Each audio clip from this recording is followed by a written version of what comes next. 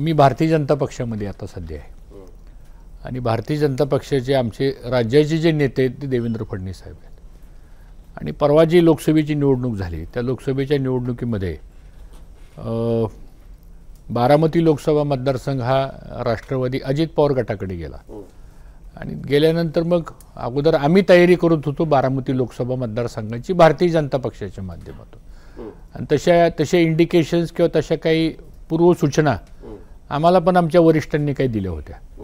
पण नंतरच्या काळामध्ये असं आम्हाला सांगण्यात आलं की ही जागा अजित पवार गटांना आणि विशेष करून त्यांच्या ज्या पत्नी आहेत सुनित्रा पवार यांना ती उमेदवारी दिली.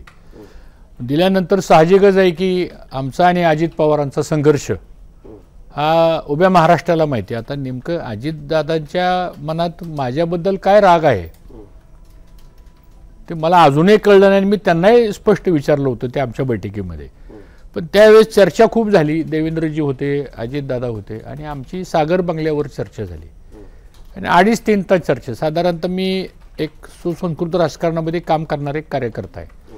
एक प्रथा असते की बंद दाराड काय चर्चा झाली ती बाहेर सांगायची नसते. पण त्यातली सगळी चर्चा मी आज काय सांगणार नाही. पण एक त्यातला जो महत्त्वाचा मुद्दा होता की अजितदादा असं म्हणाले की उद्याच्या विधानसभेला आम्ही म्हणलं तुमचं आम्ही लोकसभेला काम कशासाठी करायचं?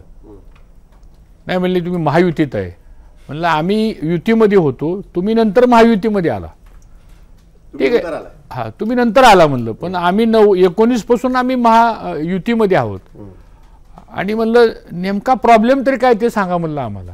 आपण काँग्रेसमध्ये असताना त्यावेळेस तुमचा वाद. पुन्हा आम्ही आघाडी सरकारमध्ये पंधरा वर्ष बरोबर मंत्री म्हणून काम केलं. त्यावेळेस तुमचा वाद. पुन्हा आम्ही एकोणीसला तुम्ही चौदाला तुम्ही वेगळे झाला आम्ही वेगळं झालो तरी वाद. एकोणीसला तुमचं सरकार झालं पुन्हा आम्ही भारतीय जनता पक्षात गेलो तरी तुमचा वाद. आणि पुन्हा आम्ही तुम्ही युतीमध्ये महायुतीमध्ये आला तरी वाद म्हणलं. नेमकं कारण काय? नाही म्हणले आता ते सगळे आपल्याला विसरायचे. आणि आपण आता उद्याची विधानसभा जी आहे त्या विधानसभेला देवेंद्र फडणवीस साहेब जे निर्णय घेतील इंदापूर तालुक्यातल्या राजकीय निर्णय तो माझा शब्द आहे की मी तो शब्द तंतोतंत पाळणार. असं त्यांनी कमिटमेंट केली. लोकसभेपूर्वी तुम्हाला वचन दिलं त्यांनी. शंभर टक्के अगदी हो. आणि हे मी नाही हे. अजित पवारांनी तुम्ही आला होता इंदापूरला एका सभेला मला वाटतं. तुम्ही आणि राजदीप सरदेसाई होता त्या कार्यक्रमाला. ओपन कार्यक्रम होता मला प्रेक्षकांना सांगितलं पाहिजे. नाही ओपनच की. तुम्ही तो कव्हर करायला आला हो, होता तुम्ही. तर त्या कार्यक्रमामध्ये तुम्ही ऐकलं ते काय बोलले ते? तुमचे कार्यकर्ते सगळे होते त्या होते आणि देवेंद्रजी पण मतदारसंघात आले.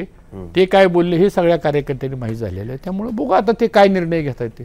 नाही तुम्ही एक पार्श्वभूमी सांगितली सगळी काय नक्की घडलं त्याच्यामध्ये पण नक्की दादानी तुम्हाला सांगितलं का की तुमच्या बरोबर प्रॉब्लेम काय आहे? कारण आणि तुम्ही अजून एक महत्वाची गोष्ट सांगितली की तुम्हाला सांगितलं होतं भाजपकडनं की लोकसभा तुम्हाला लढवायची आहे बारामतीची लोकसभा अजित पवार आल्यानंतर लगेच तुम्हाला सांगितलं गेलं की अजित पवारांकडनं लोकसभा लढवली जाईल का तुम्हाला नंतर कळलं की कोणी दुसरं म्हणजे तेच लढवणार आहेत किंवा असं काही नाही? आम्हाला नंतर कळालं की ते जागा त्यांना सुटणार आहे किंवा ते जागा ते उमेदवार उभा करणार आहेत.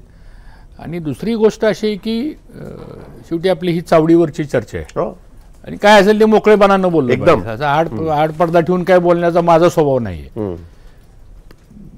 पुणे जिल्ह्यामध्ये बारामती आणि इंदापूर हे आम्ही एकमेकाची शेजारी आहोत.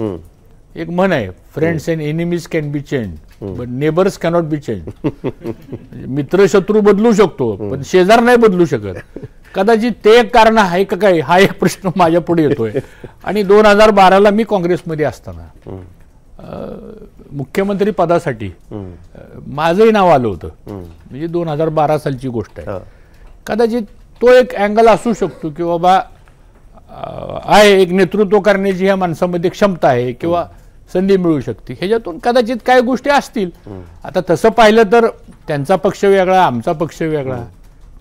त्यांचा मतदारसंघ वेगळा आमचा मतदारसंघ वेगळा.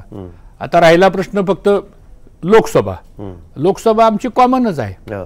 पण आम्ही तसं पाहिलं तर बारामती लोकसभा मतदारसंघ. हा सगळ्यात पहिला निवडून आलेला तिथं जर कोण असेल तिथं. तर ते शंकरराव बाजीराव पाटील. एकोणीसशे ऐंशी साली म्हणजे आमचे काका. बारामती लोकसभा मतदारसंघ बनल्यानंतर. बारामती लोकसभा मतदारसंघ बनल्यानंतर इंदापूरचे शंकरराव म्हणजे आमचे काका ते पहिल्यांदा खासदार झाले. बरोबर. त्याच्यानंतर एकोणीसशे बावन्नला ज्यावेळेस फर्स्ट इलेक्शन झालं आफ्टर इंडिपेंडन्स तर एकोणीसशे बावन्नला सुद्धा इंदापूरची विधानसभा. ही त्या काळामध्ये त्यावेळेस आपला जन्मही झाला नव्हता हो. तिथे आमच्या काकांनी इलेक्शन लढवलं होतं. म्हणजे बावन्न ते ऐंशी सलग सात टर्म. मी तसं जर बघितलं तर या राजकीय प्रवासामध्ये. सगळ्यात पहिली सुरुवात आमची झालेली आहे हो. आमची किंवा आमच्या कुटुंबाची किंवा आमच्या काकांची वगैरे आणि मग तोच तीच पद्धत घेऊन आम्ही सातत्यानं काम करत आलोय सुदैवानं मी तर चौऱ्याण्णवला पंच्याण्णवला अपक्ष उभा राहिला अपक्ष म्हणजे माझं तिकीट फायनल झालं होतं. म्हणजे मलाच प्रश्न पडतो की माझ्या तिकिटावरच कायम हा प्रश्न काय येतो सांगतो हा. चौऱ्याण्णवला पण हाच एपिसोड झाला. हा. आणि चौऱ्याण्णवला पर्यंत शेवटी मग मला इंडिपेंडंट म्हणून उभा राहावं लागलं. त्यावेळेस कोणी कापलं तुमचं? म्हणजे काय परत शेजाऱ्यांनीच कापलं की मग दुसरं कोण कापणार आहे सांगा तुम्ही. त्यामुळे आमच्यावर खूप प्रेम असल्यामुळे कदाचित त्या गोष्टी घडल्या. आता ठीक आहे तो राजकारणाचा जुना भाग झाला. पण आज मात्र वस्तुस्थिती अशी आहे की आता चर्चा बाहेर अशी आहे आता अजितदादा दोन तीन ठिकाणी बोलले भाषणामध्ये. की जे सिटिंग आमदार आहेत त्यांना तिकीट मिळणार हो. त्यांची स्टेटेड पोझिशन आहे ती हा. की ज्याची जी जागा त्याला ती जागा मिळाली पाहिजे मग आता असं असेल तर मग आमच्या मतदारसंघातल्या लोकांनी काय करायचं पहिला प्रश्न दुसरा प्रश्न सिटिंगला उमेदवारी द्यायची होती तर मग आम्ही आमच्या नेत्यांना पण विचारले की बाबा मग कालच्या लोकसभेच्या निवडणुकीला.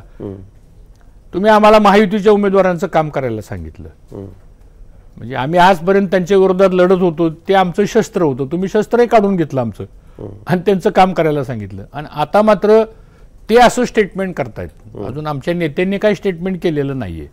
पण परवा अगदी आमच्याकडे कार्यक्रम झाला. दोन कार्यक्रम होते. एक शासकीय कामांची उद्घाटनं. आणि दुसरा त्यांची ती कुठली यात्रा चालली ते त्यांची काय? जनस्वराज जनसन्मान. जनसन्मान यात्रा काहीतरी ते हा. गुलाबी झेंडे वगैरे काय काय काय ते हा. तर ते दोन कार्यक्रम होते. तो पक्षाचा कार्यक्रम ज्याने त्यांनी घ्यावा तो बघा. पण साधं त्या शासकीय कार्यक्रमाचं निमंत्रण सुद्धा आम्हाला नाही. मी अजितदादा आमच्या जिल्ह्याचे पालकमंत्री ते राज्याचे उपमुख्यमंत्री. आणि तीन महिन्यापूर्वी मात्र तुम्ही सांगताय की आमचं काम करा. आम्ही प्रामाणिक काम केलं. लोकांनी ऐकलं ना ऐकलं शेवटी लोकशाही आहे. आपण काय कोणाचा हात धरून तुम्हाला मनात धाकधूक होती का त्याही वेळेस काम करताना? नाही धाकधूक म्हणण्यापेक्षा आम्हाला ती शंकाच होती. पण देवेंद्रजी मला म्हणाले की म्हणून म्हटलं तुमच्यासमोर चर्चा करा. त्यामुळे ते म्हणाले की ती माझी जबाबदारी आहे. तुम्ही काय बाकीची गोष्टीची चिंता करू नका. मी त्याची जबाबदारी घ्यायला तयार आहे. आणि अजितदादा म्हणले ते निर्णय घेतील तो मला मान्य आहे. हा माझा शब्द. आता ह्यांचा शब्द आणि त्यांची जबाबदारी त्याची वाट बघतोय आम्ही.